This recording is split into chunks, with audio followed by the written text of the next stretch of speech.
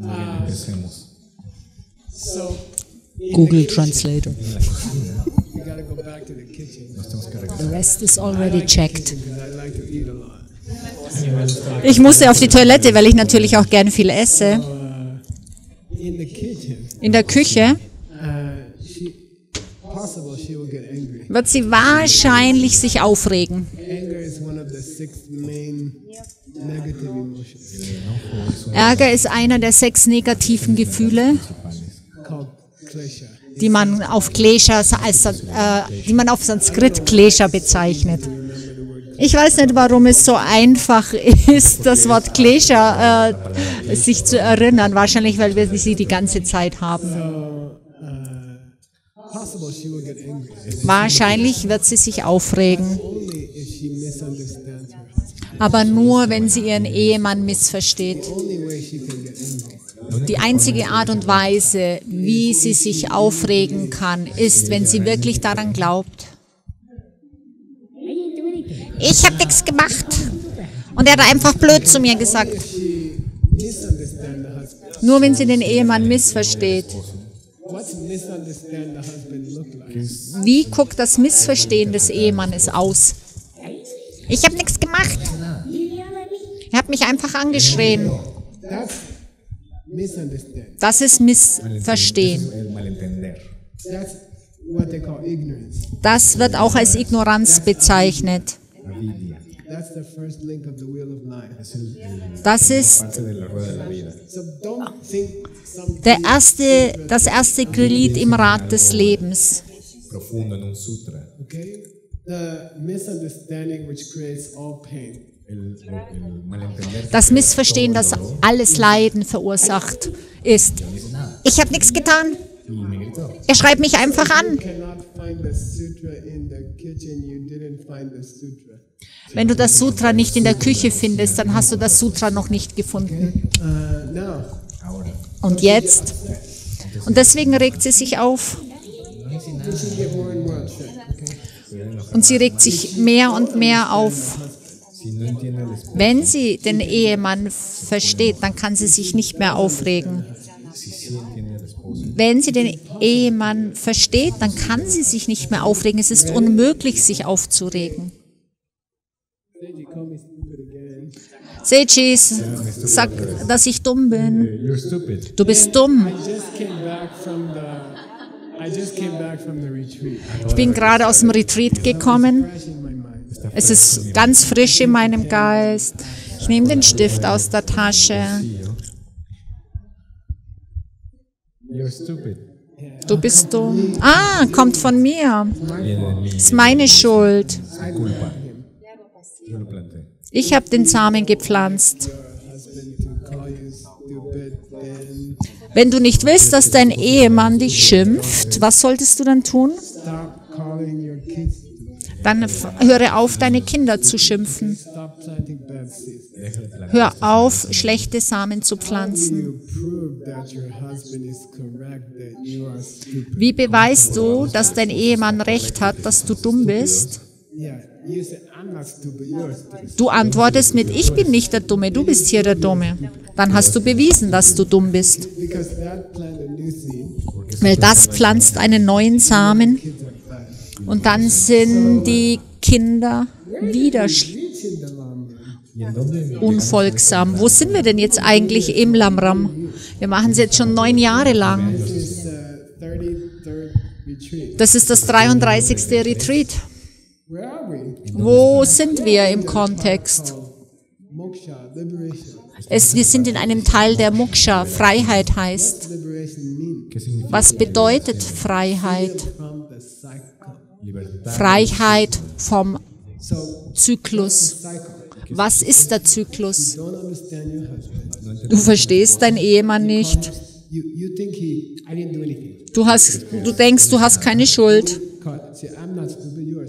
Dann sagst du, nicht ich bin hier der Dumme, sondern du. Du pflanzt einen neuen Samen. Dann sind die Kinder wieder umgezogen. Dann schimpfst du sie wieder aus. Du pflanzt neuen schlechten Samen. Nächste Woche sagt der Ehemann wieder, dass du dumm bist. Und das ist der Kreislauf, der Zyklus. Das, der große Kreislauf heißt Sansara. Und wenn du aufhörst, negativ zu reagieren, dann musst du nicht wieder in einer Welt wie dieser geboren werden. Du wirst immer in einer perfekten Welt leben, im Mandala. So uh, we are studying how to stop negative emotions. Wir studieren, wie man negative Emotionen los wird. Wir sind jetzt in dem Abschnitt, wo beschrieben wird, wie wir uns von dieser Welt befreien können. Und wir studieren, wie man die negativen Gefühle los wird. Und es gibt zwei Methoden. Eine ist eine ultimative Methode. Auf Englisch heißt es vorübergehende Methoden. Es hilft dir ein paar Stunden. Die ultimative Methode ist der Stift. Aber wenn es Situationen gibt, an denen du dich nicht an den Stift erinnern kannst und du ärgerlich wirst, dann gibt er sechs kurzfristige Methoden. Und wir lernen sie. Okay. Uh, when you take an aspirin, Cuando tomas Wenn du ein Aspirin nimmst, funktioniert's. Yeah. Ja, Manchmal ja, manchmal nein. Warum funktioniert's? Wenn es funktioniert,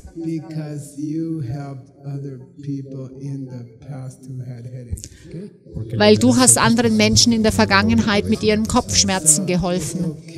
Es gibt keine chemische Substanz im Aspirin, die dein Kopfweh beseitigt. Du hast diese chemische Substanz ins Aspirin reingetan. Geshe-la, Geshe-la. Make the seeds si yo hago las semillas, and I get a headache. Wenn ich die Samen gepflanzt habe und ich Kopfweh bekomme, kann ich dann einen Churro essen anstatt des Aspirins?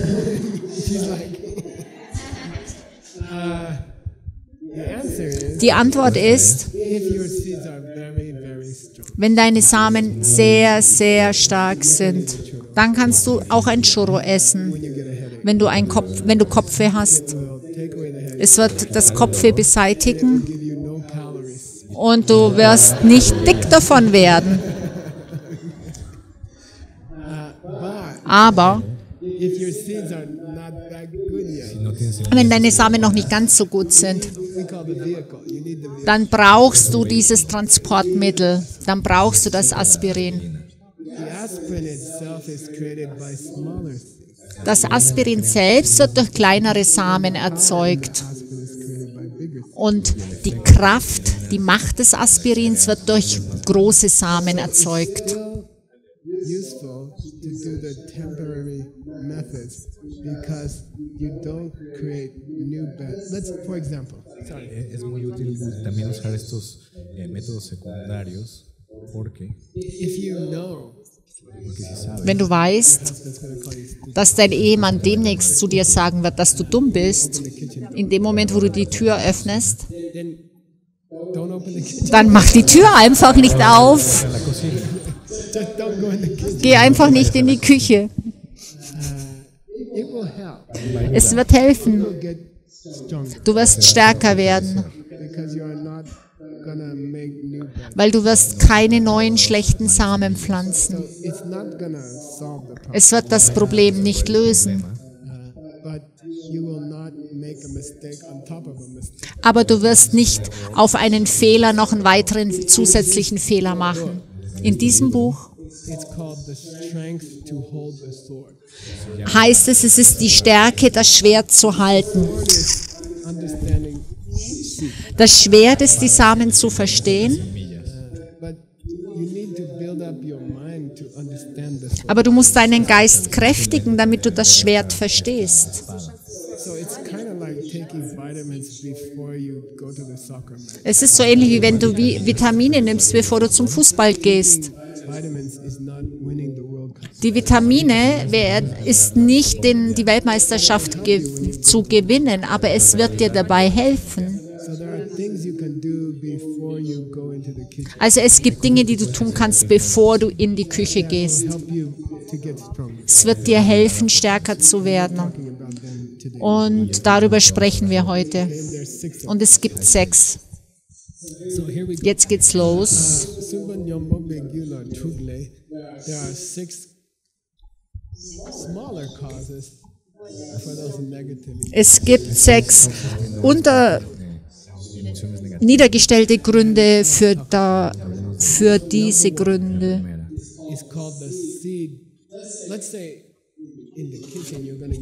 Angenommen, du wirst in der Küche, regst du dich auf. Dieser Ärger kommt von zwei unterschiedlichen Samen. Der große ist der Ich verstehe den Stift nicht Samen. Das ist äh, derjenige, der dir die meisten Probleme verursacht. Aber dann gibt es noch einen kleineren Samen,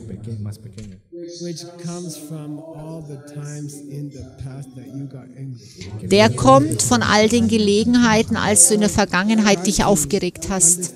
Also versuche zu verstehen, wenn du,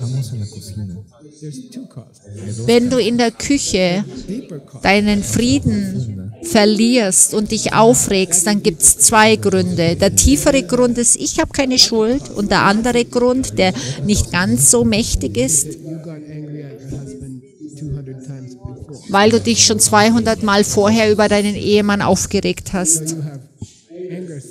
Also du hast Ärgersamen, weil du dich vorher schon über ihn aufgeregt hast.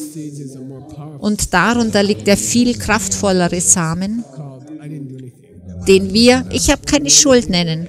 Wollt ihr noch mehr darüber wissen? Uh, 200 got angry Der. Ich habe keine Schuld Samen hat die anderen 200 Samen, wo du dich aufgeregt hast, erzeugt. Da gibt es eine Beziehung zwischen den beiden. Also wenn du den ersten schwächst, schwächst du auch die anderen.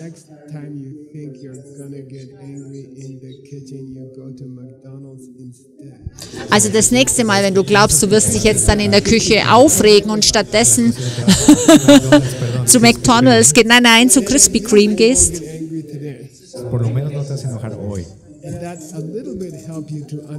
und dann regst du dich heute nicht auf und das hilft dir dabei, den Samen, ich habe keine Schuld zu verstehen.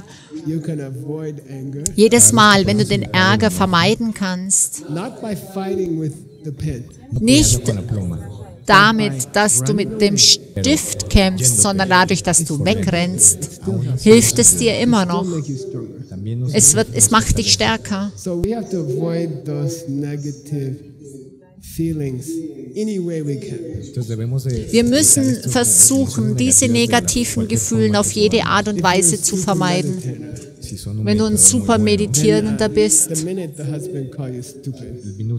dann wird in dem Moment, wo der Ehemann sagt, dass du dumm bist, dann nimm deinen Stift raus.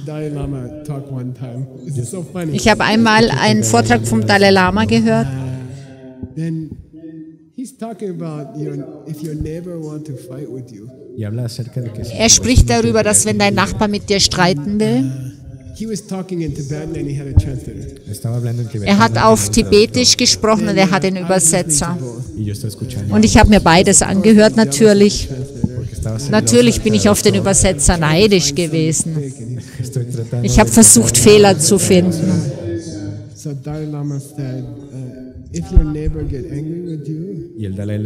Der Dalai sagte, wenn dein Nachbar auf dich wütend ist und dir zum ersten Mal sagt, dass du dumm bist,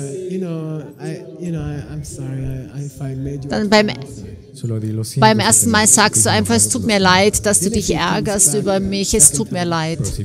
Und wenn er dann das zweite Mal ankommt und wieder sagt, dass du dumm bist, Dann stärke deine Geduld.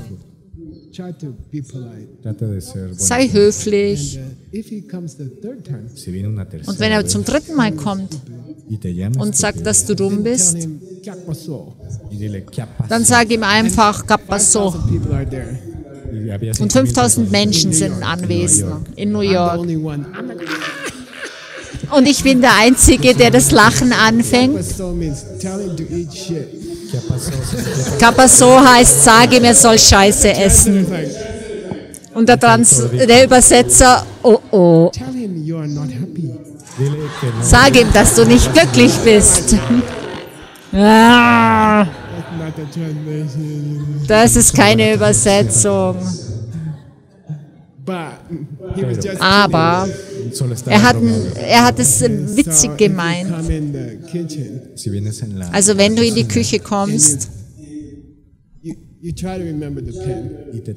und du, du versuchst dich an den Stift zu erinnern, aber es funktioniert nicht, dann versuch wirklich den Raum so schnell wie möglich zu verlassen.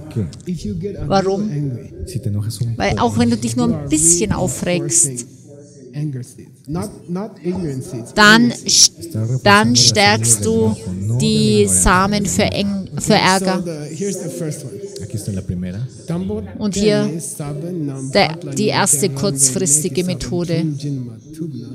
So let's say uh, you got sick. Digamos que te enfermaste Angenommen, du bist and krank y te dio un und du hast eine wirklich ernste Erkältung. Uh, und du bist sehr vorsichtig, du hast Vitamine genommen, du hast viel geschlafen, But you didn't really get to the seed of the cold. Aber du hast nicht wirklich den Samen der Erkältung erreicht. Der ist immer noch da. Und wenn du dann einen in- Sahnekrapfen isst, dann wird in zwei Minuten, in zwei Stunden die Erkältung wieder aufflammen, weil der Same immer noch vorhanden ist. Hast einfach nur ein paar Tage but gut gegessen. Aber der. Same ist immer noch da. Und so beschreibt er den Samen für Ärger.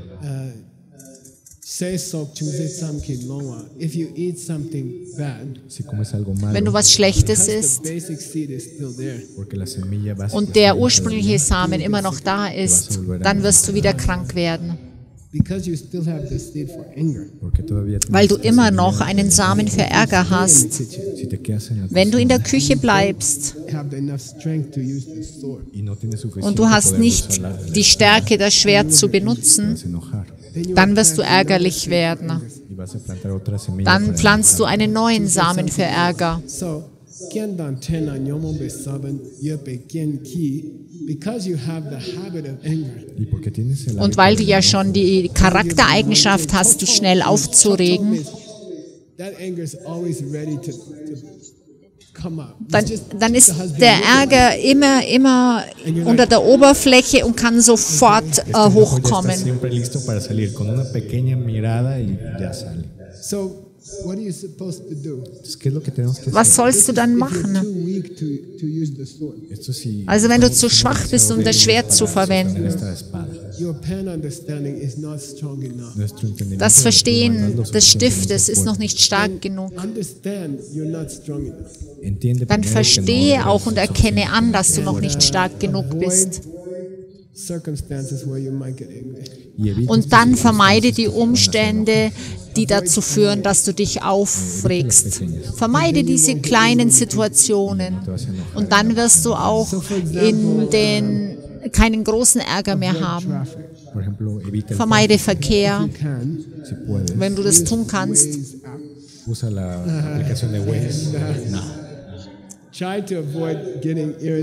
Trata de evitar irritación, Versuch irritarte. zu vermeiden, dass du dich aufregst. Weil dieser kleine Same der Irritation wird in der Küche explodieren.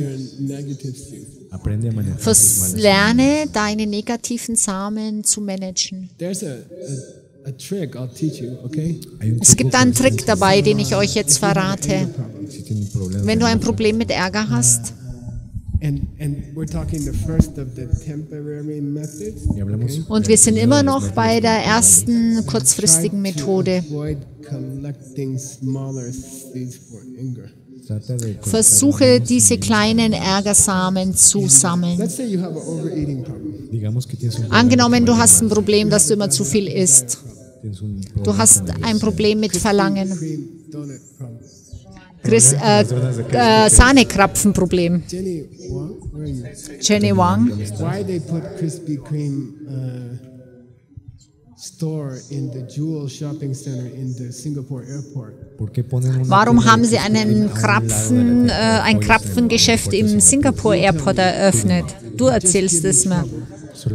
Es ge- macht mir nur Probleme.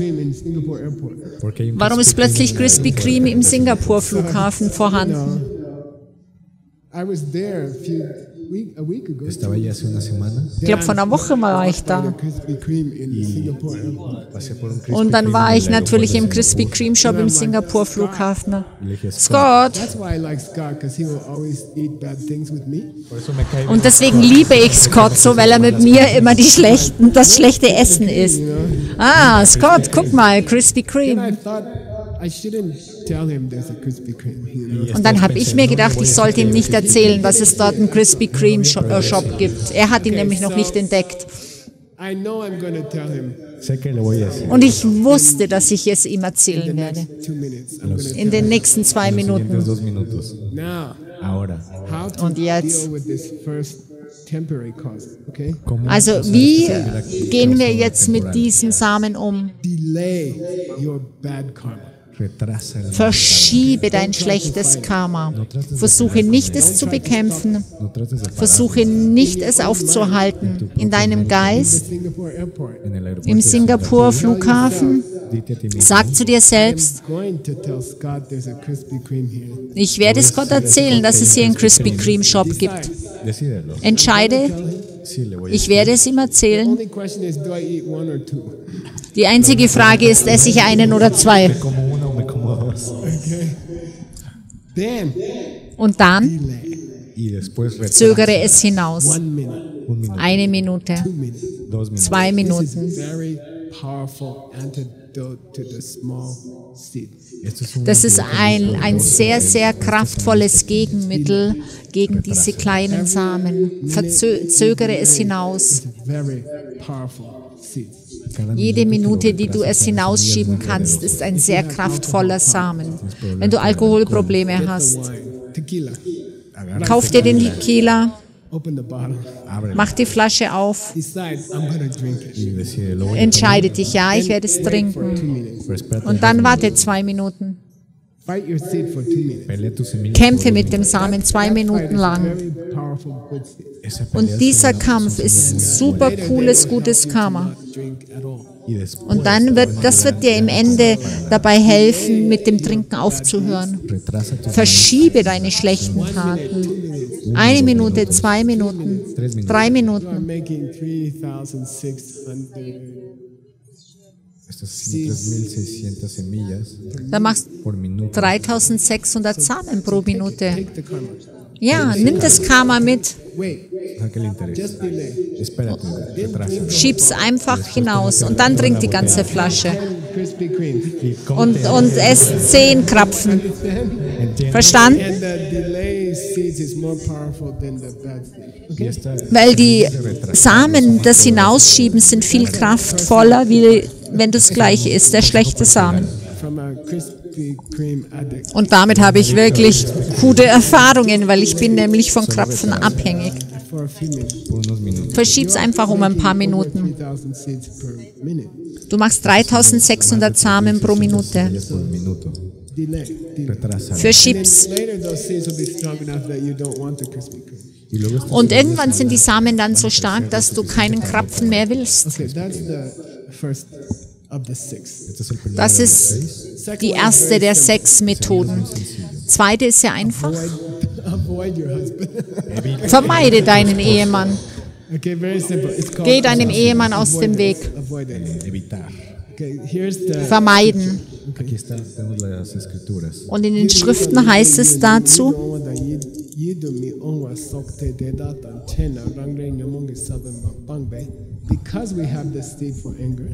Und weil wir den Samen für Ärger haben und weil wir uns selbst schon so oft erlaubt haben, auf unseren Ehemann ärgerlich zu werden, wenn wir ihn treffen und er hat schlechte Laune, there's gonna be a fight. va a haber una pelea seguro. dann werden wir streiten. Uh, Und äh, es zu beweisen, zitiert er jetzt die Abhidharma Kosha.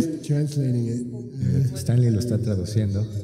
He's scheduled to finish in 2034. Lo va a terminar en 2000. Stanley übersetzt die Abhidharma Kosha und, 46. und äh, ich glaube, das Buch ist sehr lange, wird 2046 äh, fertig sein. Ich glaube, ich bin dann 89. Ich muss da jetzt noch einen Plan dafür machen.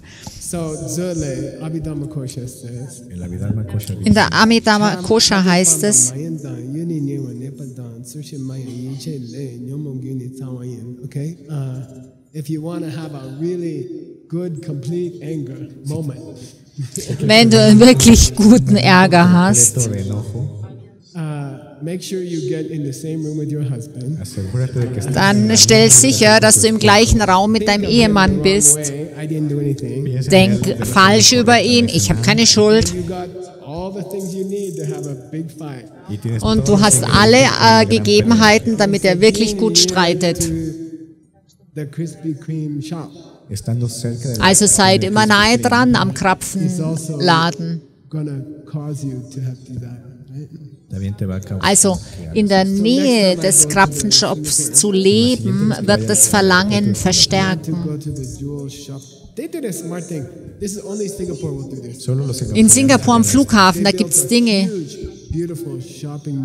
Huge, beautiful shopping mall in the airport. die haben im Flughafen ein riesen Einkaufszentrum gebaut. not talking uh, one or two shops. Ich sprich nicht über ein oder zwei Läden. Hunderte. de With tiendas a with a fountain that's four four stories high. Mit einem Springbrunnen über vier Stockwerke. Und der fließt verkehrt rum. It's so smart. So intelligent. Okay. Es reicht, den Flughafen zu sehen, du musst nicht mal in die Stadt fahren. Also das nächste Mal,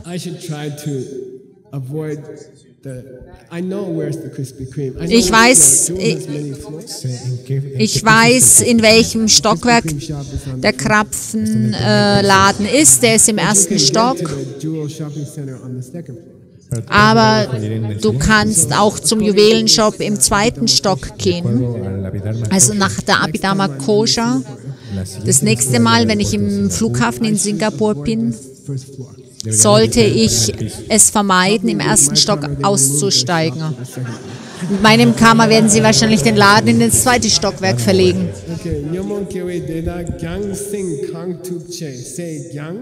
Sag Gang, Sing, kang tup che. Kang, Tupche. When you're in a bad mood, put as much space between you and your husband as possible. Und vor allem, wenn du schlechte Laune hast, versuch so viel Abstand zwischen dich und deinen Ehemann zu bringen, wie möglich ist. Das Tibetische ist wirklich lustig. Means put as much distance between you and your husband. Versuch so viel Abstand zwischen dir und deinen Ehemann zu bringen, wenn du schlechte Laune hast, wie es dir möglich ist. Rap chung nam gamba dang richu sokna depa ang yun le chulwayin.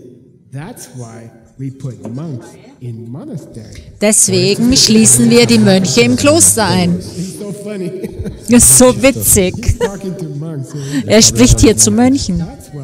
You in. Das ist, warum ihr im Kloster eingesperrt seid. Weil da gibt es nämlich keine Mädels. Uh. Er verwendet hier das Wort Rapchung, was auch bedeutet, du hast versprochen, keinen Sex zu haben. Deswegen, Jungs, kommt ihr ins Kloster, damit ihr Abstand von den Mädels habt. Selbst wenn du die Regel brechen willst, geht das nicht, weil keine Mädels da sind. Und genauso kannst du es auch mit deinem Ehemann machen. Es gibt Tage, da solltest du deinen Ehemann nicht treffen, weil du hast schlechte Laune und er hat schlechte Laune. Weil dann werdet ihr streiten sonst. Wenn du dich nicht an den Stift erinnern kannst. Wenn du dich an den Stift erinnern kannst, Glück gehabt, aber wenn nicht, dann geh nicht in die Küche. Habt das verstanden? Because if you go in the kitchen and get mad, you will plant another small seed for anger next time. Weil wenn du in die Küche gehst und dich aufregst, wirst du einen kleinen Samen pflanzen und du wirst das nächste Mal wieder ärgerlich werden.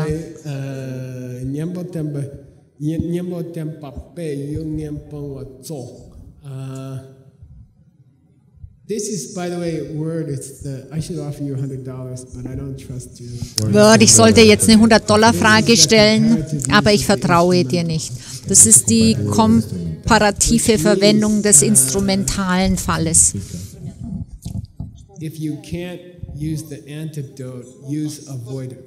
Wenn du nicht das Gegenmittel anwenden kannst, dann benutze Vermeidung. Also wenn du nicht stark genug bist, um das Gegenmittel anzuwenden, dann vermeide das Objekt. no Wenn du Angst hast, dass du dich nicht an den Stift erinnern kannst in der Küche, dann vermeide es, in die Küche zu gehen. Es ist keine starke buddhistische Methode, aber es ist besser, als neue schlechte Samen zu pflanzen. Yungem pang pe nyomong rimki drip, namyam me pe kejo ngangi pel, rikpa thang pe chula nge she ke, emba tempa gyalsai lagne yin. This is a famous author called the Bodhisattva. Okay. Der autor von diesem Zitat heißt Bodhisattva His name is Tokme, but it's not und sein Name ist Tokme, aber es ist nicht Asanga. Uh, Yungem Pambe Nyomong Rinki Dip. Uh, if you avoid the husband, then slowly you'll get over your habit of anger. Wenn du deinen Ehemann vermeidest, wirst du ganz langsam deinen Charakterzug des Ärgers loswerden. Uh, if you don't get distracted by anger, then your good karma is going to increase. Und wenn du nicht mehr vom Ärger abgelenkt wirst, dann wird, wirst du mehr gutes Karma ansammeln.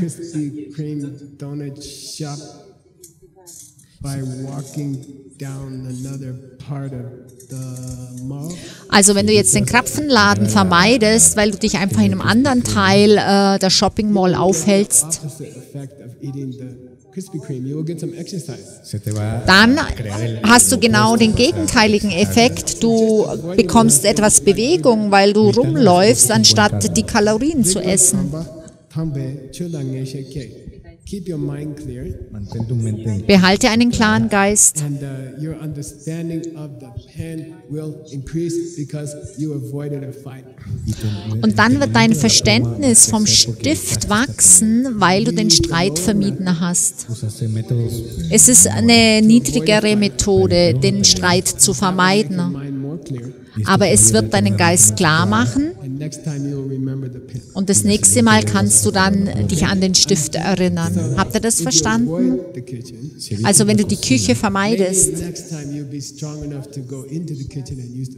dann bist du vielleicht das nächste Mal stark genug, in die Küche wirklich reinzugehen und dich an den Stift zu erinnern. Und jetzt macht er hier einen Witz. Emba means, this is a little bit Emba here. Uh, Emba significa es it means uh, empty place in the countryside. Das Wort bedeutet wie Diamond Mountain am Ende der Welt. Am Ende der Welt keine Stadt. Du brauchst zwei Stunden, um zum Supermarkt zu gehen. Das ist Empa. Da, wo sich Fuchs und Hase gute Nacht sagen. Es ist eine Bodhisattva-Praxis, sich ins Land zurückzuziehen. Es ist eine Meta Metapher. Yeah, getting away from the husband. Go on retreat. Geh aufs Retreat, um den Ehemann zu vermeiden. In dein, zum Beispiel ins Badezimmer. Don't go to the kitchen. Geh nicht in die Küche, geh ins Badezimmer. Vergiss nicht, bodhisattvas äh, machen gerne Retreat, aber es ist ein It Witz. uh, Es heißt, geh nicht in die Küche, sondern geh ins Badezimmer.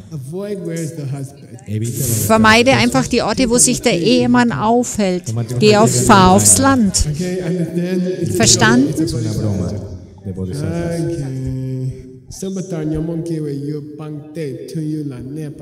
Okay. Uh, by the way, we have about five more minutes. So Wir haben noch fünf Minuten. tell your butt to relax. Díganles sus Sagt eurem Hintern, er soll sich entspannen. Ne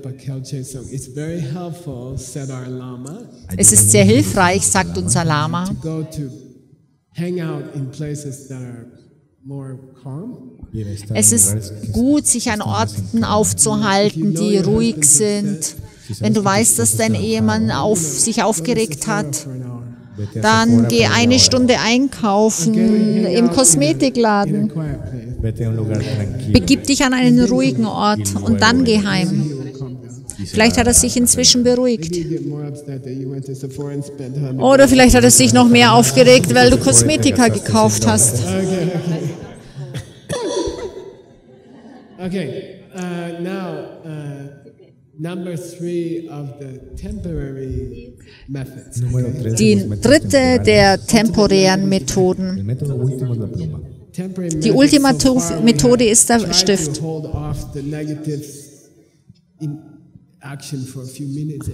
Die erste war, wir haben äh, die negative Aktion verschoben oder wir haben einfach den Ehemann vermieden, wenn du weißt, dass er sich gerade aufregt.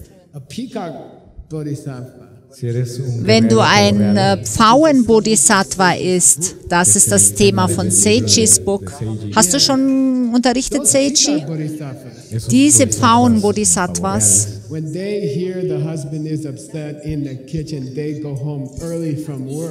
wenn die hören, dass der Ehemann aufgeregt in der Küche steht, dann gehen sie früher von der Arbeit heim, um mehr Zeit in der Küche zu verbringen mit ihrem ärgerlichen Ehemann. Es ist wie Gewichte heben. Es macht den Bodhisattva muskelstärker. Also wenn du wirklich stark bist, dann solltest du versuchen, so viel um nervige, so möglichst viele nervige Leute um dich zu haben, um stark zu werden. Du solltest an den Flughafen gehen, wo es zehn Krapfenläden gibt und rauf und runter laufen, um einfach deine Muskeln aufzubauen. Das ist sein Buch, die Pfauen-Bodhisattven. Warum Pfau? Hundred dollars. 100 Dollar. Oh, she's definitely on. Oh, warum dollars shopping? Xiaoping, hast du 100 Dollar für mich?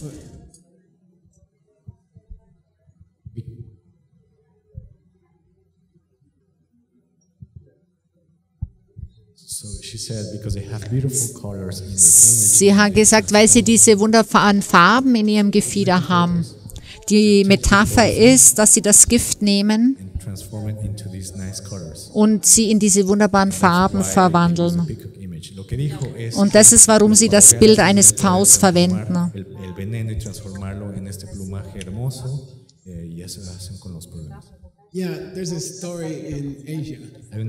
Es Asia gibt eine Geschichte in Asien, dass die Farbe der Pfauen comes from uh, they like to eat poison. davon kommt, weil sie es lieben, Gift zu essen. think you have in Guadalajara a flower called datura. Ich glaube, hier in Guadalajara habt ihr eine Blume, die Datura heißt. Das ist eine weiße Blume Poison. und sie ist giftig. It gives you uh. Du hast Halluzinationen. Also bitte nicht essen, es wird euch umbringen, weil es giftig ist. Und Pfauen, laut den Schriften, ich weiß nicht, ob es wahr ist, also bitte bringt eure Pfauen nicht um. Da heißt es, sie lieben es, Gift zu essen. Und jedes Gift verwandelt sich in eine andere Farbe in ihrem Gefieder. Und sie werden schöner und schöner. Also wenn du ein starker Bodhisattva bist und du hast eine Krapfenabhängigkeit, dann frage Siri. Hey Siri, Hallo Siri, wo ist der nächste Krapfenladen? 15 miles. Oh, 15 Meilen. Uh, she's ask, offering me directions. Oh, und sie sagt mir auch, wie ich da hinkomme. So if you really want to be advanced bodhisattva, Also wenn du ein fortgeschrittener Bodhisattva bist, dann frag Siri, wo der Krapfenladen ist. Und dann geh dahin und trink einen Kaffee.